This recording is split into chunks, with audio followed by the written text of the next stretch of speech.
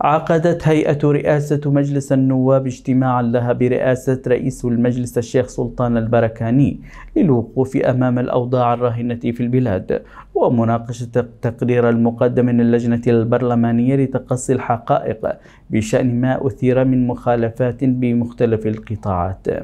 وفي الاجتماع جرى مناقشة تدهور الأوضاع الاقتصادية والمعيشية وما ترتب على ذلك من زيادة هائلة في الاحتياجات الإنسانية وانعكاساتها سلبا على حياة المواطنين.